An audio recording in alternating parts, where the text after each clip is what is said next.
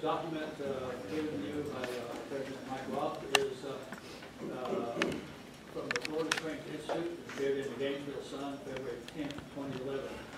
Uh, The Florida Springs Institute District Commission distributed to you. You have may have done business with the Florida Springs Institute already under the name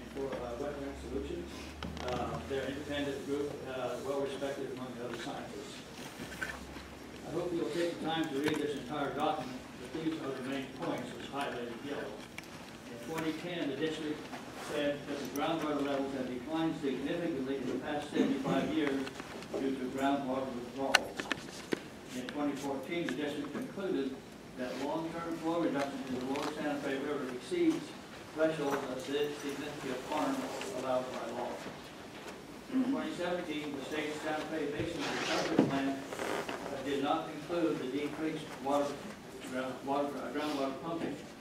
Conversely, instead, since 2015, 5,000 new permits have been issued for domestic self-supply wells and 296 permits issued for large irrigation wells, resulting in a conservative estimate of 30 million gallons per day of additional withdrawals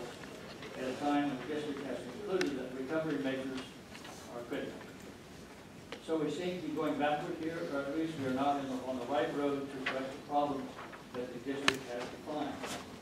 We seem to be looking in wrong places and overlooking the most obvious and important solution, which is overpopulation. Thank you very much. Thank you.